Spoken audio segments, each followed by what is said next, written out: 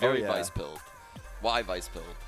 Why Vyse pilled? Because man, imagine imagine him with his aim getting to choose whenever duel he wants on his terms with his flash on his timing. Yeah. Right? Oh, yeah. Listen, we haven't gotten it all down to where it looks the best. Um, it's still in the works, especially on split. Yeah. But um, you know, it's just a it's just a different look. Like I, the lack of flashes definitely comes into play, and you know the confidence you get as a player when you say flashing now, and then you get to peak, and you're expecting that kind of domino effect to happen with the flashes. So Yeah. we really like the Vyse in the scrims. It's giving us a lot of um, different looks, and the great thing about it is each scrim we've played.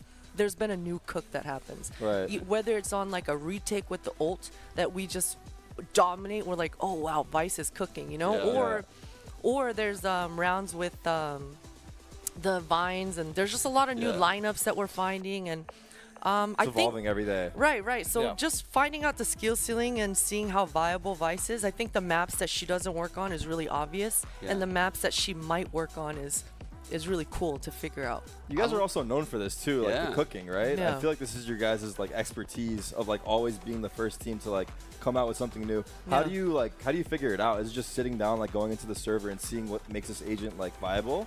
Because a lot of people were thinking like Vyse is not going to be used. It doesn't. It usually comes down to the players that I have. Oh, really?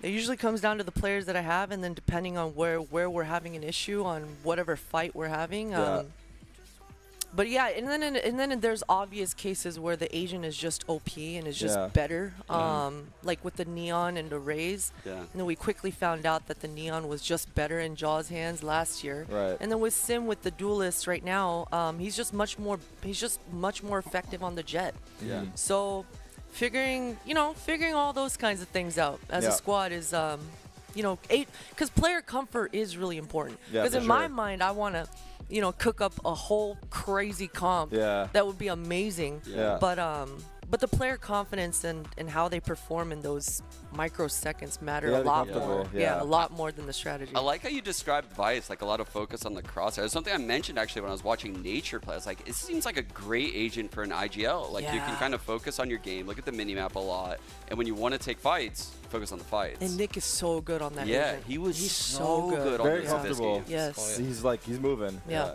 yeah, I heard from the birdies you were working a lot with him last year. yeah, yeah, Yeah. yeah. That was that's cool. Like I'm not gonna lie, he has come a long way as an in-game leader, and yeah, I think you guys are building something really, really great. I can't wait to see it. Yeah, This I'm a te- excited about the core. Temporary roster, right? You guys are like trying stuff out right now. You guys don't have a locked-in team. Is that is that's what we're hearing? or you can't comment too much on Um, it. I mean, it's no, it's not a. This is the roster that I want to win 2025. make it with. work with this yes, team. yes. This is the roster that we came to this tournament, and this is our dry run tournament. With Okay. thi- this is the roster that we want in 2025. I see. Um, but the whole temporary thing is something else that's going on. I don't. I don't. I, I got you. I don't know. I just work here. Fair enough.